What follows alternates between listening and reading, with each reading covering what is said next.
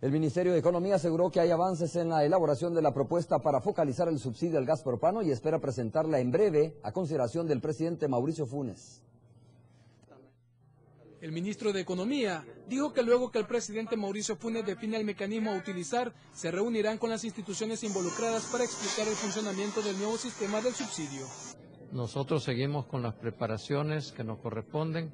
y cuando el presidente tome la decisión de cuál alternativa es la que va a escoger, vamos a comenzar eh, mucho más formalmente el trabajo de diálogo con los distintos actores del proceso,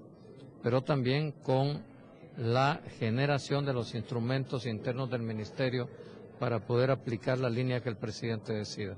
Dadiresi tampoco quiso adelantar sobre las alternativas que serán planteadas al Ejecutivo, según dijo, para evitar especulaciones. Se ve cuando se dijo hace algún tiempo que una de las alternativas era subsidiar solo a los de 99 para abajo, se dio por sentado que esa era la decisión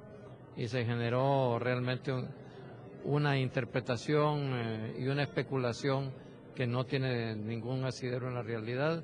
era una opción, así que preferimos que cuando el presidente tome la decisión vamos a decir por esta ruta vamos. El Ministerio de Economía espera concluir el proceso a más tardar durante la primera semana de agosto. Para Teleprensa Canal 33, Alonso Castillo.